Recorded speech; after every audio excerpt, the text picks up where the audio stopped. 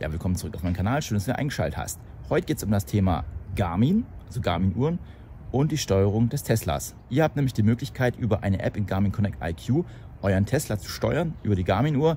Das Ganze ist komplett kostenlos. Ich zeige dir in diesem Video einmal, was die Funktionen hier sind, aber wie man das Ganze dann auch einrichtet, beziehungsweise wie ihr das dann nutzen könnt. Viel Spaß! Ja, ihr könnt die App hier nahezu bei allen Garmin-Uhren nutzen. Das heißt also, sofern ein Garmin Connect IQ-Zugang da ist, und ich würde auch das Ganze hier mit einem Touch-Display empfehlen, einfach nur, weil es mit der Steuerung dann etwas einfacher fällt.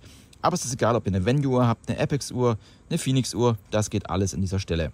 Ja, was bekommen wir hier in der Übersicht? Wir sehen jetzt hier, das Auto ist jetzt momentan bei 30% geladen, 100 Kilometer werden hier geschätzt. Ihr habt die Möglichkeit, die App sowohl mit Touch als auch mit den Tasten zu steuern. Wir gehen jetzt einfach mal hier das Ganze mit Touch durch. Gehen wir uns rein. Es dauert immer einen kleinen Moment, bis das Ganze geladen wird. Dann sehen wir hier zum Beispiel vier Aktionsmöglichkeiten, die ich jetzt hier hinterlegt habe. Das könnt ihr komplett individuell gestalten, was ihr haben wollt zum Beispiel Frank oder ich kann jetzt hier, wenn ich drauf drücke, auch die Lüftung einschalten. Dann fängt jetzt das Auto an, hier die Klimaanlage einzustellen. Ich weiß nicht, ob man das hören kann.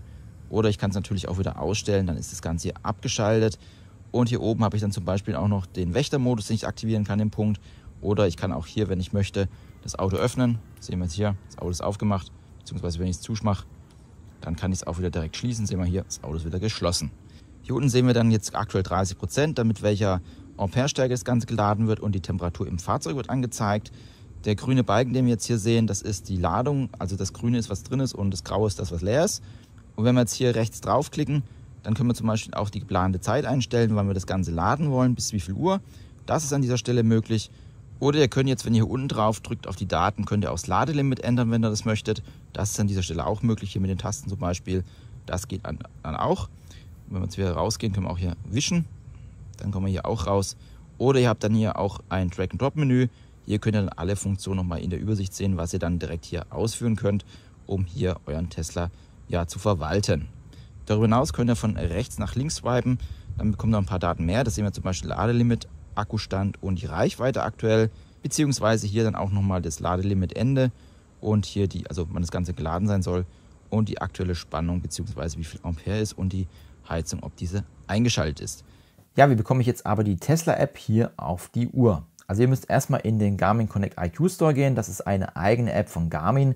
Die gibt es sowohl im Play Store als auch im Apple Store. Wir sehen jetzt hier eine Übersicht der verschiedenen Widgets bzw. Apps, die die Uhr hier so anbietet. Jetzt gehen wir hier unten auf Suchen, da sind wir jetzt auch schon drin. Dann geben wir einfach hier oben Tesla ein. Ja, ich habe es hier schon im Suchverlauf drin. Wie gesagt, das Ganze eingeben und direkt das erste Widget hier oben, Tesla Link Widget, ist das Widget, was ihr nutzen möchtet oder solltet wenn ihr das Ganze nutzen möchtet, so rum. Und da sehen wir hier auch schon mal so eine kleine Übersicht, was es hier an Möglichkeiten gibt, als natürlich dann auch eine Übersicht der Funktion, als natürlich dann auch, welche Geräte alle kompatibel sind. Da gehen wir jetzt einfach mal drauf und da sehen wir hier schon zum Beispiel 447 ist kompatibel, das ist ja schon etwas älter, als natürlich die ganzen neuen Phoenix-Uhren. Und sogar die Venue 3, die jetzt gerade aktuell erst vorgestellt worden ist, wird hier schon unterstützt. Also ihr seht hier, der Entwickler ist auch, na, hier oben sehen wir sie schon, ist ja wirklich ganz, ganz schnell. Oder die neue Golf-Uhr ist dabei. Also ihr seht hier, eigentlich gibt es fast keine Garmin-Uhr, die das nicht unterstützt, die jetzt auch keine Verbindung zum Garmin Connect IQ Store hat.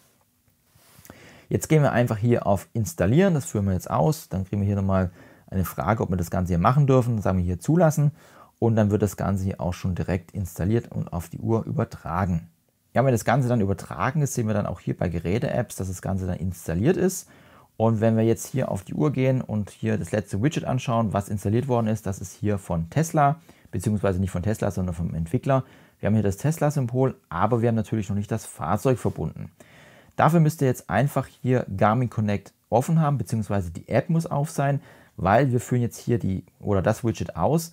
Wir sehen jetzt hier, logge dich auf das Smartphone ein. Da bekommen wir jetzt hier direkt schon eine Meldung hier angezeigt, dass wir was machen müssen. Das kennen wir zum Beispiel auch von Spotify. Da gehen wir jetzt einfach auf Anmelden und wir landen hier automatisch auf der Tesla-Seite. An dieser Stelle ist natürlich euch überlassen, ob ihr euch hier anmelden wollt. Tesla bietet ja hier natürlich eine API-Schnittstelle an. Die ist ja offiziell da und die kann man verwenden. Es gibt ja auch andere Apps, die die verwenden.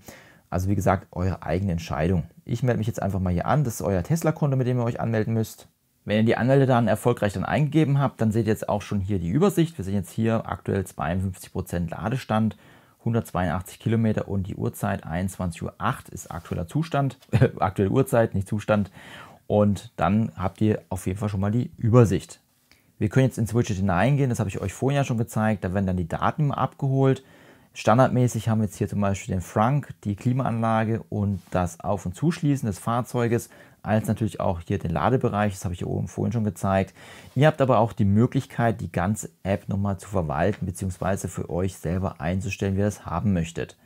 Dafür geht jetzt einfach nochmal in die Garmin Connect App hinein und das Tesla Link Widget. Hier gibt es dann nämlich die Möglichkeit, wir sehen jetzt hier gibt es ein neues Feld, das nennt sich Einstellungen. Da können wir jetzt reingehen und können hier diverse Einstellungen vornehmen. Leider sind manche Sachen hier noch nicht ganz übersetzt, das heißt, manches auf Deutsch, manches noch nicht. Wir sehen hier verbesserte Touch-Funktion können wir nutzen, als natürlich auch die Touch-Funktion, also für Geräte mit Knöpfen und Touchscreen. Das können wir einen ausstellen, wie wir das haben wollen. Oder dann hier ein Quick Return. Also hier habt ihr dann, je nachdem, was ihr dann möchtet, nochmal die Option, das Ganze hier zu nutzen. Der spannendere Teil sind aber die Verwaltung der vier Schnellbuttons zum Schnellauswahlmenü. Sehen jetzt hier links, das ist jetzt hier Frank öffnen. Wir sehen auch hier so einen Pfeil am Kofferraum oder vorne am Frank. Wir können aber auch sagen, ich möchte zum Beispiel den Kofferraum jetzt öffnen.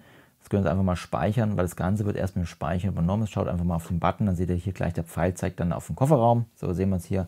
Und wenn wir jetzt hier draufklicken, dann werden wir gefragt, ob wir den Kofferraum öffnen wollen. Möchten wir natürlich nicht. Da könnt ihr das Ganze dann hier über den Kofferraum öffnen. Wir müssen dann auch jetzt mal wieder in die Einstellung gehen, wenn das Ganze dann gespeichert wird. Also wie gesagt, ihr müsst dann hier erstmal selber entscheiden, was ihr wollt und dann könnt ihr das Ganze hier speichern. Dann haben wir natürlich auch die rechte Seite. Hier können wir zum Beispiel das Ladelimit ändern oder Ladestrom. Das ist hier möglich oder dann auch die Temperatur.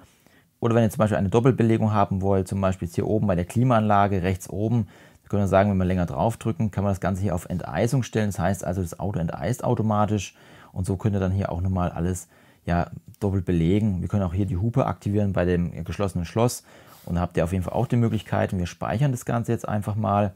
Und jetzt werden wir gleich sehen, wenn wir jetzt zum Beispiel länger auf die Klimaanlage draufdrücken, dann wird die Enteisung aktiviert. Das heißt also, wenn ihr morgens dann jetzt gerade im Bad unterwegs seid und das Handy liegt irgendwo, könnt ihr auch direkt die Enteisung starten. Dann geht das Ganze hier direkt auch über die Schnellauswahlmenü oder das Schnellauswahlmenü. Falls ihr den Entwickler unterstützen wollt, ich habe mit dem überhaupt keinen Bezug, aber was mir aufgefallen ist, er hat hier unten als erforderliche Hardware nämlich, ja, ich vermute mal, seinen Tesla-Link hinterlegt. Falls ihr jetzt ein Auto kaufen wollt und ein weiteres Auto kaufen möchtet und das Ganze unterstützen wollt, nutzt doch gern das hier. Er freut sich, wenn das Ganze unterstützt wird. Auf jeden Fall, wie gesagt, das war ein kleiner Einblick, ein kleines Tutorial. Ich hoffe, euch hat es gefallen, auch wenn es mal mit Sport nichts zu tun hat. Aber ich möchte auch mal über den Tellerrand hinausschauen. Wenn das Ganze gefallen hat, lasst auch gerne einen Daumen hoch da. Ich verlinke auch meine Playlist hier rund um weitere Tutorials zu den Garmin-Uhren, die natürlich auch ein bisschen mehr Richtung Sport gehen. Das war jetzt so ein kleiner Ausflug. Vielen Dank für deine Zeit. Tschüss, bis zum nächsten Mal.